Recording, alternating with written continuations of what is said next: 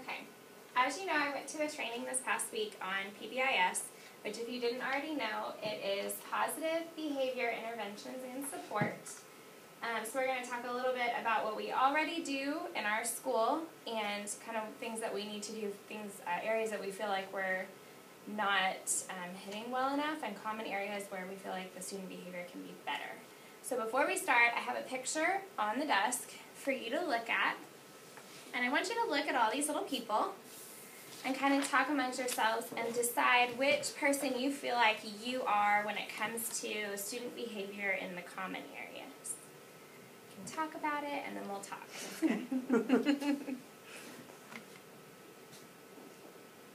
Um, Here, we help each other.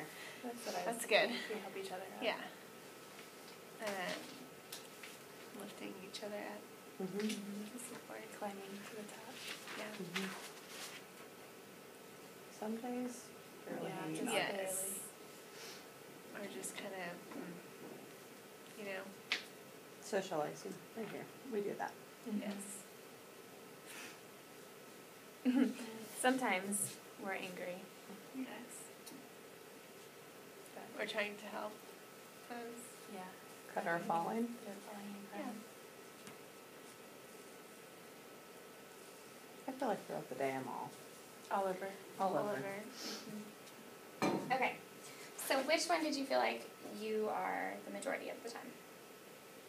Well, Emily was pointing out the sun down here, and I like that because it shows just trying to help give someone else a boost. Support. Yeah, support.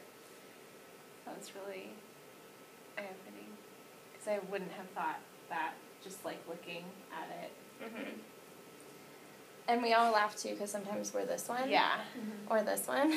that's When what we I feel said. like I we've said failed I'm- and we're done and we're falling. yeah, definitely. Or we have days like today when kids get sick and then you don't have time to focus on the behavior in the Just to hallways. handle the yeah. Mm-hmm. Okay, um, so when we were in our meeting, we decided that we needed to come up with a, a mission. What is our goal as a team? We came up with a team name that we are the BLTs. So we are the Behavior Learning Team, right? No, Behavior Leadership Team. And um, in that team, we'll just help kind of facilitate ways that we can keep the behavior under control and improve um, that aspect. But there are other aspects as well, like attendance that we have recently realized that our scores that um, A through F system that we love is based off of a lot like a lot of it is based off of our attendance. And so i'm going to give you guys an attendance report and you can look at it and kind of see what you think about it. It's for different um, amounts of time. One's for the entire year and one's just for the six weeks. And so based off of that you can see the percentage of kids that are absent during that period of time and get an idea of how many it really is. Is this since August? This one is, yes, this one's all year. This is just, Wow. the this is the six weeks.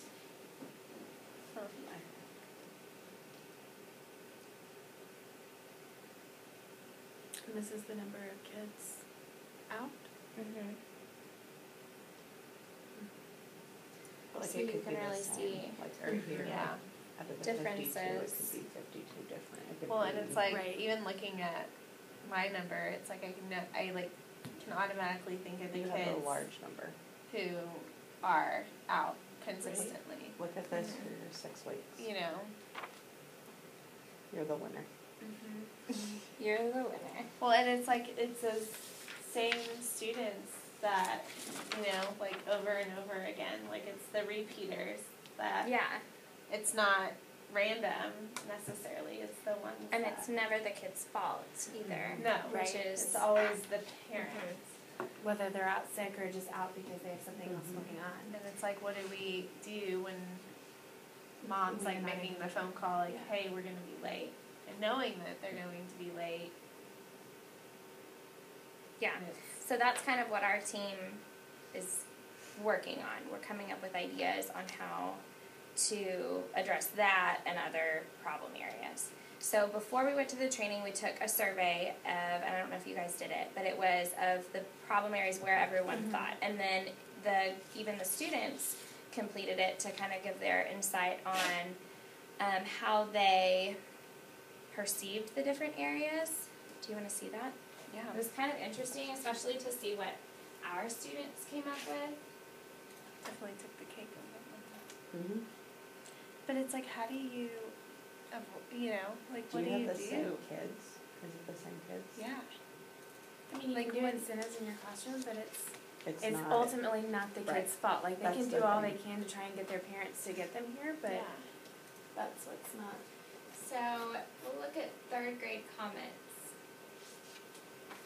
And in recess, or at recess, they say it's too loud, they can't hear the whistle, kids don't line up when the whistle is blown, they get hurt because people throw rocks and trees, get tripped when people run to line up, loses recess because others are talking when going outside, people destroy others' things, they don't share the slide and swings, and they vandalize the playground equipment.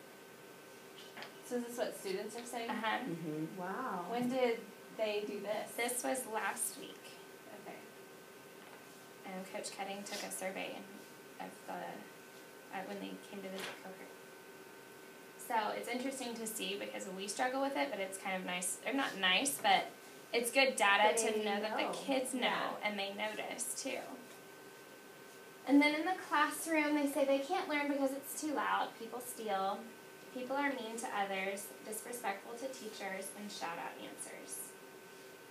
Now recess is different. I feel like we do have um, behaviors and systems that are in place. The problem is not all teachers have the same expectations, and that's something that we need to talk about. But PBIS isn't focusing solely on recess because we feel like there are other problem areas within the building on a regular basis that we are going to focus on first. And the classroom, I don't know. What do you what do you guys think about that? As far as it being a focus of PBIS. Um, I feel like a lot of it is on the teacher, like to Mhm. manage their classroom, and I feel like you can implement things in your classroom, like champs, like what we have, um, to kind of make it go smoothly. So for me, PBIS, I feel like doesn't that's not the biggest concern, but I feel like what they're saying, it sounds, you know, like it sounds Yeah. like what they would have a problem with, or like what might have had a problem with before, if we're doing group work or like whatever. And so I think that's whenever, if PBIS was something that we did implement in the classroom, it would need to be like with groups, like when they're not doing individual stuff. Right. I feel like each teacher also runs their classroom a different way and what works for them. And so implementing PBIS I think is good, but I think at the same time maybe not starting with the classroom because that would kind of interrupt what the teacher already has that works for them. Right. You know, I think that everybody needs to be on the same page in the bathrooms, hallways, recess, cafeteria. But then I think in the classroom, it's kind of nice to be able to do your thing that works for you and your kids that year. Well, Because yeah, it changes every year too. Mhm. It's not the same. And every teacher has a different style, and I feel like when we decide whose class that student goes to, we try to put them in the classroom where they'll be most successful. So whether that, you know, that teacher is a little bit more strict or one has a more lenient style, either way, you choose students to go in that class based on that. And so if we're all requiring them to do the same thing, then they're not being able to individualize, like you said, for their kids. So we're gonna stay away from that one, but we do have a um, little acronym we made that we will put posters in, and they're gonna replace the Falcon Hallways ones because we felt like what we have is SOAR for everything, but then it says we're gonna SOAR and how can you be safe in the classroom. And then there's this giant description and explanation, and what we found from talking to other schools and kind of learning what their um, what you know what they've implemented for each of the areas is that it's too wordy. The kids don't really know what it is, and they've seen it a couple of times, but aside from that, they don't know. So for the classroom, our acronym we're gonna say Falcons soar in the classroom, and we haven't made any of these yet because we're still trying to get some feedback. Um, and then the acronym is learn, listen to directions, enter and exit prepared, always try your best, respect others, and no excuses. So we felt felt like that was something that everyone could implement and post so students can see it all the time, but you can still do your own champs and still do your own type of classroom management style. Does that make sense? Okay. And the next one is hallway, loud, silly noises. I get in trouble when others talk. Which is funny. Because most of them are actually talking themselves. Um, so for this one, we decided this was definitely something that we needed to address. And we needed an easier way other than the soar with the big description of how we soar in the hallway, um, something quick and easy for us to repeat to the kids and for us to post around the school. And we've um, started on making neon posters. So it'll be on like white or black posters with neon letters, and all PBIS things are going to be in the same format and large and in every hallway and every common area because it needs to be something that is spread out across the school. So for the hallway, we have decided that ours are going to be hall.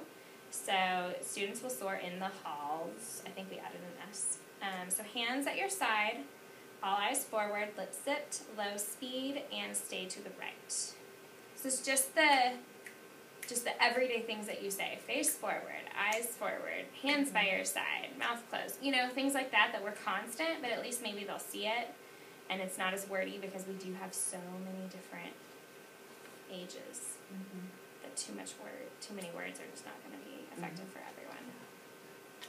Any thoughts on all that? When will we be putting those in?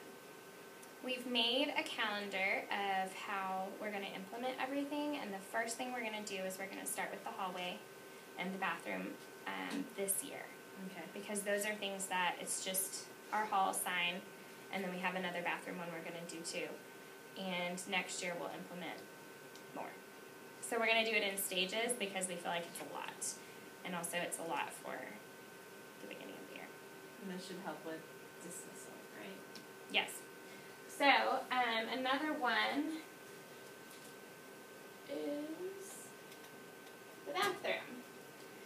So this is the one we'll be implementing this year. People don't flush, there's talking, cursing, looking under the stalls, inappropriate words, people play around, look at you while you're going to the bathroom, they go on the floor, too much talking, throw toilet paper everywhere, girls going into the boys' bathroom and boys going into the girls' bathroom, and they look through the stalls. Wow. Like all these things I didn't even know about. I mean, I knew about mm-hmm. some of them, but like girls going into boys and boys going I into girls. idea. No idea. So how do we and then fix using it? the restroom on the floor. But I mean, like, is that we have the cameras, and it's like, do they? They know we have cameras, But not in the restrooms, but we can see who goes in what restroom, right? yeah? Do they know that? Like, have they? Um, I would say the ones that have been talked to, I know a lot of times I'll come out there and go, you know that you're, like, a little device right there Yeah. is a camera. Oh, so, I mean, I think, the perpetrators know that They're everyday getting- kids wouldn't Yes. have any idea. and I think looking at this, I'm assuming what they did in PE was everyone got to vote. Um, and I know that Coach Cutting kind of said there, this was copies of a lot of, um, repeats, so you could have five people saying that they don't flush, and that's a concern of theirs, so she just condensed it down. Okay. Um, So this is something we So- will get to share with our kids, or is this something that? They, um, they did it in PE and then she had them write, like why they, so the kids that are saying that it bothers them that people don't flush, they like wrote down. We do have a plan when this all gets kind of rolled out, I Yeah. guess. Um, a way to implement it, like to share it with the kids. So we're gonna go to you guys first after we kind of um, hammer out everything else, and then after you guys know what's going on, then we'll have a way that we're going to teach the kids about it. So it won't just show up one day; they'll know, they'll know what it is, and then you can have these talks with them. So, um, along with the hallway, next six weeks we'll also implement the bathroom sign, and it's super simple. Instead of having again, like our little posters that have all these little words and it's too much. It's go, flush, wash, leave. And we got that from a lot of other schools that have been doing it. And it sounds super, you know, at first I think we struggled with, well, this isn't academic language. Like, we're not really describing how are you outstanding, how are you accountable for your behavior. But at the end of the day, we have kindergarten all the way to fourth grade. Mm-hmm. And so we need something that's more efficient and we can explain how they're soaring when we still, we're not taking away our soaring acronym. They're still safe, you know, but we're not, we're not gonna make it so wordy this time. So the neon signs will go between the boys and girls restrooms and it'll say go flush, wash, leave. So that's something you could say when you're standing out there instead of yelling at them, what are you doing in there? It's go flush, wash, leave. You know, it's wash and leave. Let's go. You know, and it can be something that makes it more efficient. And if they hear it in kinder, it's nothing new when they get to fourth grade. And then hopefully that will help it if it's quick. Because there's really no way for us to go into the boys' restroom and be like, stop going on the floor. Yeah. You know, or like, why are you mm-hmm. flushing da- down the toilet? So, aside from, I mean, we know who's in there, but we don't know who did anything. Right. So, this is the best way to kind of get them in and out. Any thoughts on that? Good. Mm-hmm. Okay. The next one is the biggest one that I think teachers have struggled with, and they showed it on the survey that we did, is the cafeteria. So it's, this is from the students. It's too loud, people push, people steal food, they're kicking the wheels, teachers have to yell, they, put, they want to put the cups back, and there's pushing in the food line and playing with food. Do you guys know what the cups is? You don't know. Um, a couple years ago, when we first started PBIS, they started red, um, yellow, and green cups, like solo cups, and they would stay in the middle of the table. And then whenever that particular table was too loud, instead of yelling at them or making the whole cafeteria silent, you would go over and change the green cup to a yellow, and it was their warning. And then if they got quiet and they were doing great for however long, you could go over and change it back to a green. If they weren't and they continued to get loud, you would change it to a red, and then they're silent it's on red. Just that table. The problem we found with that a couple years ago was that they, what I think is loud and what you think is loud might be different. And if we're in there, I'm in there one week and I'm expecting it to be One way. one way and then mm-hmm. you're in there next, the con- it's not consistent. And then a lot of teachers, it's hard to tell when it's loud in that corner, what table is it of the of the four in the corner? What which one is it? You know, and so it made it really hard to tell. And then also we would put a table on silent and Forget to take them.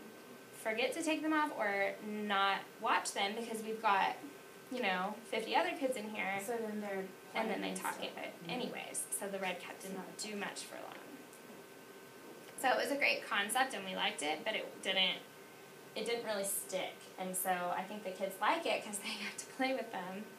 But from our point of view and from the way that the cafeteria, I mean, what do you think? Like the the volume level in the cafeteria, I don't feel like was like exponentially better. No, no, it wasn't. I feel like too, then the teachers just kind of ignored them, and eventually it was like they weren't even there. They just sat there. Well, and that's something that we talked about too. We need to do better at is instead of just saying, "Well, I feel like it was louder," or "I mm-hmm. feel like it wasn't," or you know, it just didn't seem like you know. We're gonna get some real data and use the data that we collect and the surveys and all of that to guide what we do and whether it's working or not. And if it's not, we change it. Versus just feeling like it's probably working or not, and then that way we have true data to go off of. And We'll do the same thing for the attendance and everything. So for the cafeteria, we have quite a few things. In fact, I made some.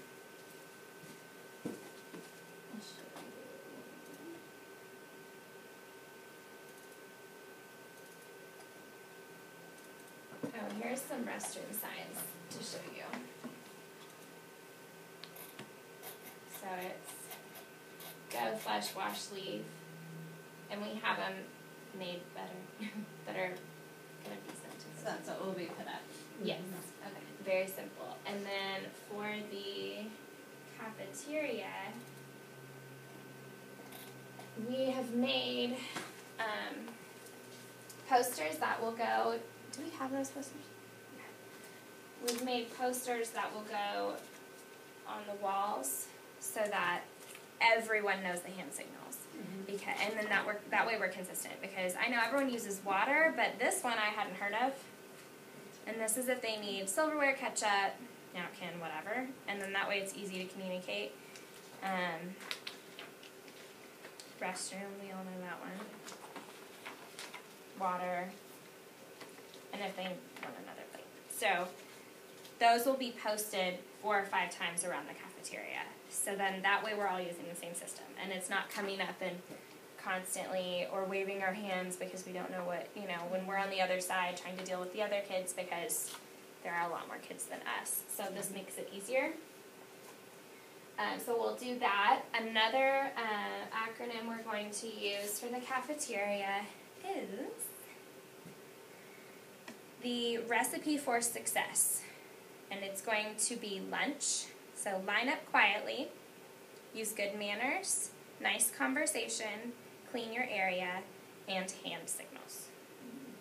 So it kind of we we attempted to cover up cover the behavior at the table, you know, how do we get teachers' attention and then also how do we line up. I like it. Mm-hmm. I like these signs I know like I'm not in the cafeteria every day. Right. And so I'm the person where I'm like, just come up here because I don't know what they mean. Mhm. Um, so for me to have this up there when I'm down there would be great. And I think for subs and like new students would be a good thing where a They know. substitute would know like, okay, we can tell what the signs are Right. to just jump in and make it be as consistent as possible for And watchdogs, whoever Mhm. else is in there. What about the volume level? That's a good What? point. We have we didn't really address anything with the volume Okay. level. We struggled with coming up with a way like cups or something that would keep it at a you know a normal Yeah. normal speaking voices level one, um, because what you think is loud and what I think is loud might be different. Mhm. So that might be something we talk about again, like we take it back to the committee and figure out what we want to do, or we make it clear to teachers that it's up to you to keep the volume level at something that you feel is appropriate at a level one. Do other schools do anything like in particular for it? There was actually one school, and they didn't talk about it at PBS, but we've seen it. I think at trainings where they have the stoplight, Oh yeah. I see Lone Star that. has that. and I don't know what we think about that, but we I think we tried to get um, that for our school a couple years ago. We just didn't have the the funds, but that could be something we try to. And that way we're kind of covering everything. And then the cafeteria lunch acronym will be big in the middle, and we're gonna get actual posters made that we can roll out, hang up, and put away. And that way we can bring them out every year, and we're not remaking all of this. Because that seemed to be a problem too, is we'd have this wonderful, great stuff, and then it would go away over the summer, be taken down, and nobody ever put it back up. Right. So hopefully that'll make it easier too. Okay, and then dismissal. Crazy, people jump out of line when name called. Teacher letting us out too late. Need more teachers in the hall. Too crowded. We should line up where we're supposed to. Third and fourth grade talk is bus line, at bus lines. Gives me a headache. Can't hear my name on the walkie. And people push and shove. So what do you think all of these have in common? It's just chaotic, yeah. Noise. It's the noise, yeah. It's the noise. This I find I think is funny, cause that's me. Cause I don't know, you know, it's hard to get everyone to the areas. Yeah. Um, it is crazy though in the hallway. Mhm.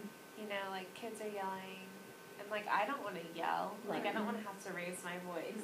I would be interested to ask them again about dismissal once we implement the halls. Yeah. To see if that helps of like how they're supposed to act in the hallway, and I know that, you know, obviously the name calling and the walkie that happens outside, but at least to get them to the bus line and walkers and Well, in the hallway, I wonder if it would help.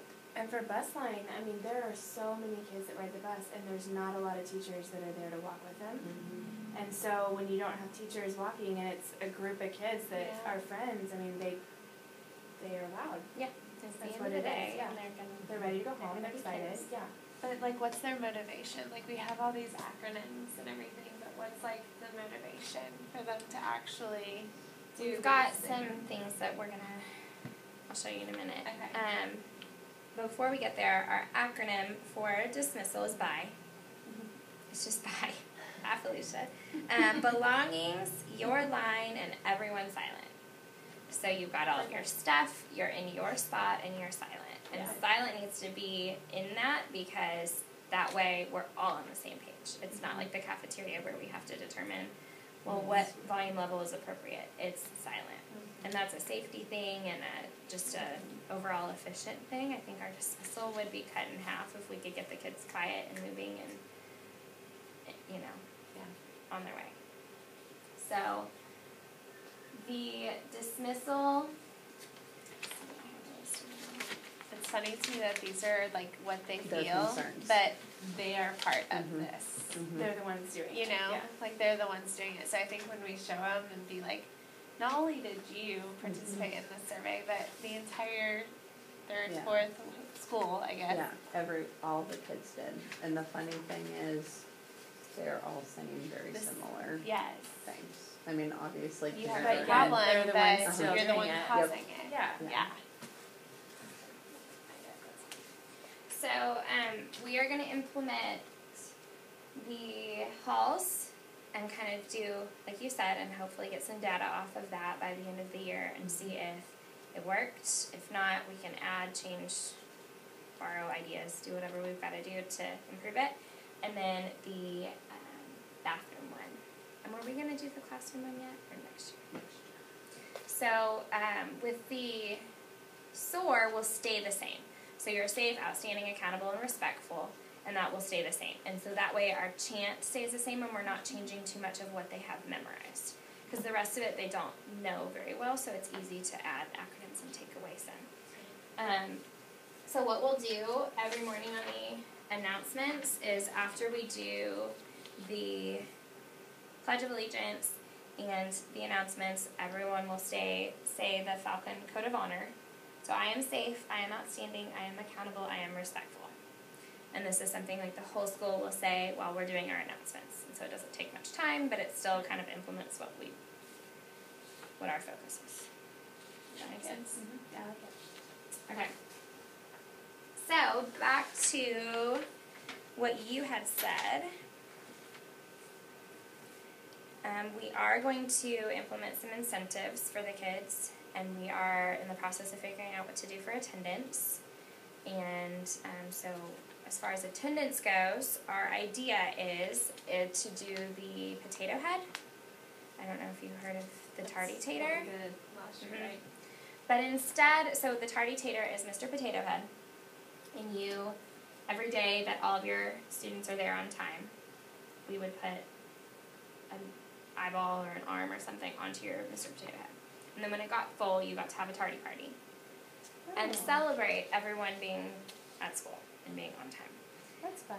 So the problem with that was I magnet I put mine up on the board and the kids, but you get so busy and everything happens so fast in the mornings. A lot of teachers were forgetting, and there was no accountability. So it was never, you know, how many parties have you gotten or how many parties have you gotten? So there was no data. There was no way to know is this helping, and no one was running any attendance reports, so we didn't know.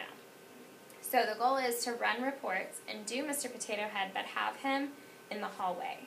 So to have a display of our Mr. Potato Heads and have like Mrs. Sanchez potato and Mrs. Mitchell potato and have the actual potatoes on the wall with Velcro dots. And then the office, when they run attendance, because they will every day and they give us a phone call if we haven't done it or whatever, they can run a report that will show um, tardies and absences. And the teachers that don't have any students that are tardy or absent, they can grab a, pe- a potato piece and go and add it to their Mr. Potato Head Okay. and it can just be right outside of the office, so it doesn't take much of their time, but that way we're kind of all responsible for the attendance, and then the students can see it when they're walking down for lunch or PE or something, and they can be excited when their tardy tater is getting filled up. Yeah, that's good. And then it can be up to you as far as what kind of tardy party you want to have. You want to just do five more minutes of recess and call it your tardy party, something that would encourage them. Um, something that I did want to ask your advice on or your opinion on was today I went to, where did I go? To Hidden Lakes Elementary. And there the principal said that they do not do anything like that because of the sole purpose that attendance is not the children's fault. And so to put the pressure on them that they may not getting be getting a piece of their Mr. Potato Head because of them, but really it's not them, it's maybe mom or dad not waking up or not, you know, Yeah. getting them here on time. So um, that principal, when she was telling us about her attendance, she felt like it was too. It put too much pressure on the kids. What do you think? Um, I feel like here it would kind of give our kids like that motivation I think so to say, "Hey, mom, dad, like Get out of you to bed." get me to school Mhm. on time," because it's not. I feel like it's not necessarily a matter of they can't. It's It's just they're not. yeah. So pushing the kids to get excited to be to school, Right. be at school on time, you know, pushing their parents to get out of bed, pushing their parents to wake up five minutes earlier. Mm-hmm. I think it could be motivation. Yeah. And I asked her what, why are the majority of your kids absent? If they're absent, mm-hmm. why? And she's from Hidden Lakes, and she said because they want to go to Disney World in the middle of the year, so they take a week to go to Disney World. Or they decide they want to go to Christmas on their Christmas vacation a week early, so they have three weeks versus two, so mm-hmm. they leave a week early. Mm-hmm. Or they have a doctor's appointment, and instead of bringing their kid back, they're just gone all day, and it's the entire day. And so she used those reasons and instead of them motivating the students, they went the approach of motivating the parents, which I thought was really cool, and I think we can still do both of them. Mm-hmm. So what she's doing is they t- they send out an attendance 101 thing, and it's a pamphlet, and it gives all the nuts and bolts of attendance because I parents don't realize mm-hmm. the you know the backlash on school ratings, but it's also illegal, you know, and what could happen if you don't bring your kid to school. And they don't realize how many days and how many tardies and That's what it is. Or how many Right. tardies make an absence. Mhm. Or, they don't know. And I mean, we can't blame them. No one educates them on it. So I think maybe that could be something we do also. We send out an attendance 101 and we can talk to administration about that and figure out a way to inform parents because that's half the battle. And then we can also have kids that can say, Mom, get up. Versus they're not going to Disney World, but their parents are just tired because they've been working all night and haven't gotten up to take them to school. And then they might be more motivated. So we could do both. I encourage them to schedule their appointments in the afternoon so they can be here until at ten o'clock though, and then go. Not miss the whole day because you Mhm. have a thirty minute doctor's appointment. at 2 o'clock. Well, and even they said it takes like a village because their office staff really watches it too. So if a kid has to leave, they'll have them sit for five more minutes until 9:45. Mark them there and then say, "Okay, go to your doctor's appointment," and then they come back. So I know it's kind of a way of working the system, but you know when so much is put on attendance and it is so important, but there's also that. So. Um, that is the at- attendance goal and kind of the idea, and we're hoping to start that now. Since we have already started a push towards attendance with the bells and the reminders, that we could start that this year also. And that, because that wouldn't take much from us. In fact, it wouldn't take anything. Just talking to the kids about it. Um, but we are going to keep the golden eggs. So we're still going to have them kind of whole group work towards that incentive of walking in the hallway and being you know, leaders as a whole. And then um, they'll still get the golden eggs, and every six weeks, the class with the most will get to carry around the golden egg and be proud of it. And then that way, we're not taking away something that they love, because Yeah. they do love it. As much as it kind of fades in and out, They get excited. they do get excited. And that can be something we can figure out how do we make it not fade. So, that can be a conversation too. Um, the next thing we're going to do so, right now we have the soaring falcon and the top falcon. I think that's how I'm there. The top falcon is the one that we choose. and they get a certificate and they get that's it. They get a certificate. Right. And um, then the Soaring Falcon is the one we choose the SOAR card, and then they get to go to that little party after school. And as a committee, we felt like that was a little bit backwards. Like if I'm going to choose a kid versus draw one out of a hat, I would rather the one that I've chosen that's been, you know, soaring all the time, that whole six weeks, and set a good example for the class, get the reward Right. and we just felt like it was too much. So we are going to take away the SOAR cards completely and do just top falcons, where you choose your top falcon, they get a certificate, they get recognized at the SOAR celebration, and they get to go to the falcon festivity. Because that's a hit, and we didn't want to take that away too. So that's the only thing as far as us when we choose a kid, it will just be one. You'll still write a sentence about them and same thing. Um, and to replace the SOAR cards um, as far as individual incentives, so we've got our whole group, which is the golden eggs, we've got the attendance, and then we've got the one that we choose. But as far as individual incentives, so like what you said, how do we keep them quiet in the hallway? What do we do to motivate them? Because as much as, um, what did they say? In our training, they talked about bribes. Yeah.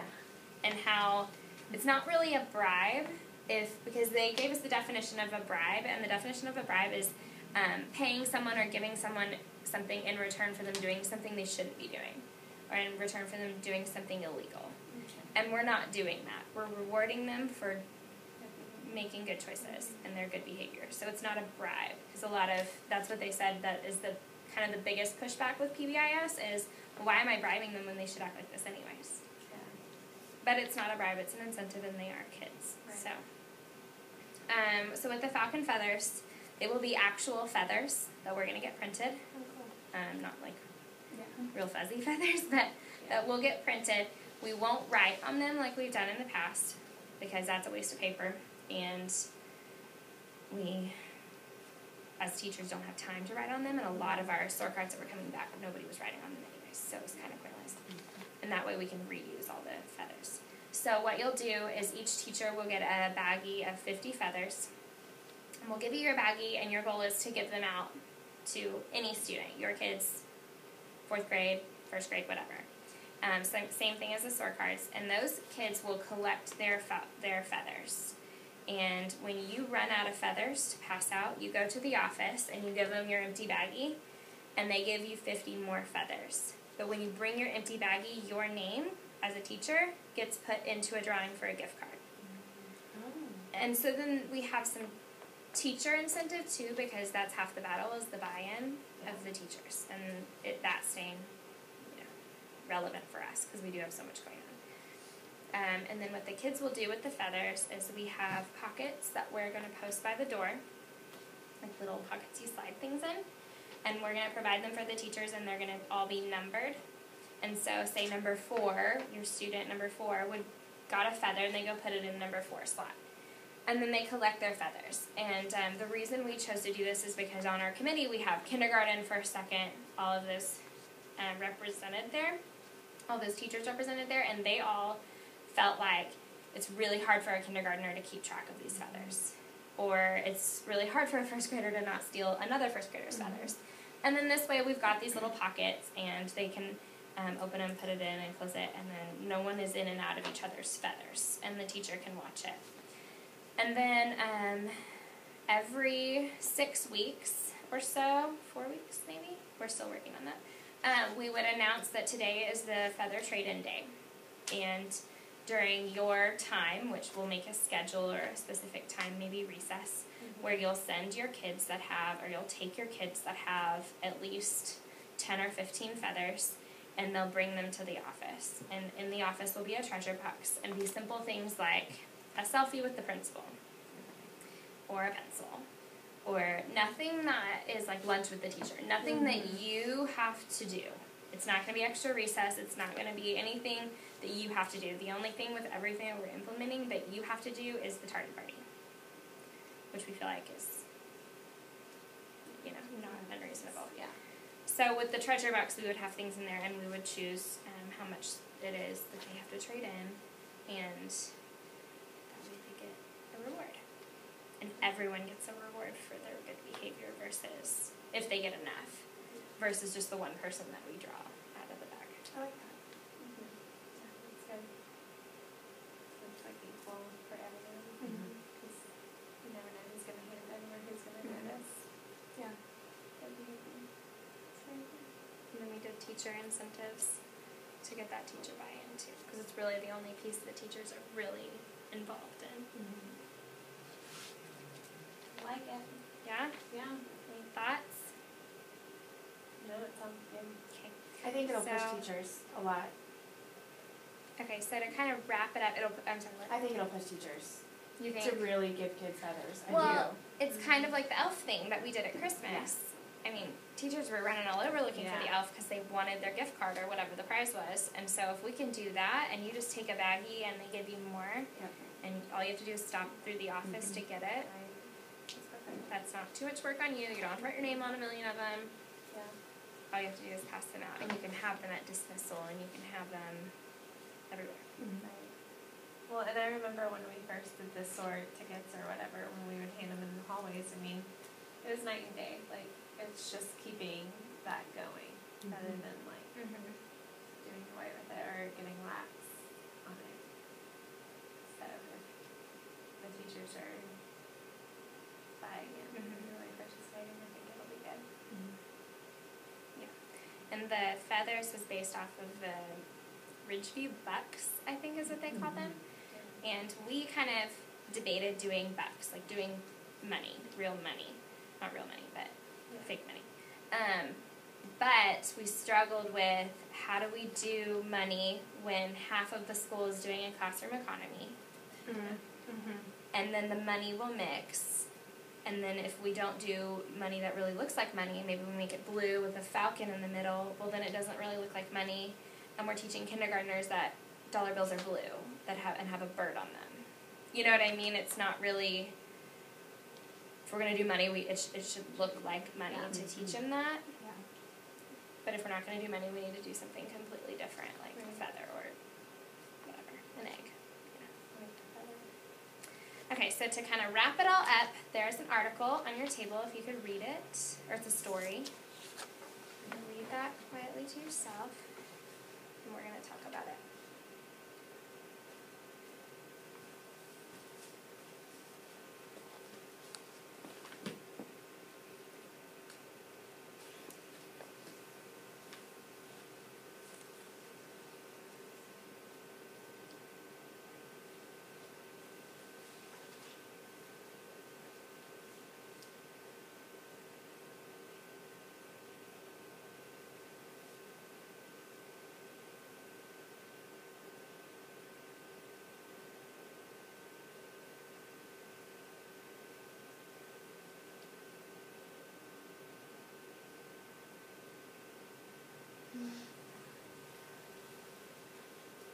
So, what do you think? I think it's showing that a lot of times, like teachers will try and try and try and not really like step out of the box and look at it a different angle. Um, and like for this person that left, and people were kind of negative, going, "Why are they leaving? Or what are they doing?" But they went to go try a different way and found what was happening, what was making that problem occur.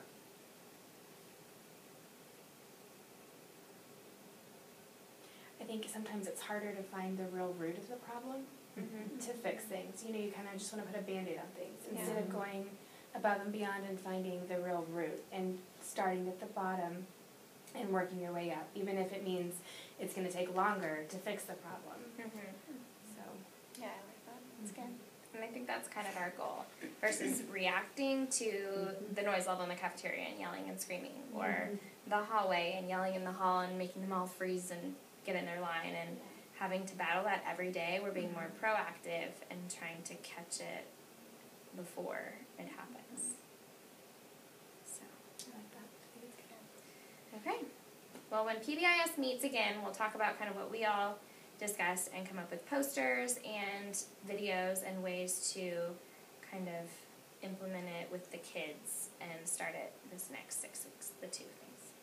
Sounds good. Sounds good? Thank you. All right.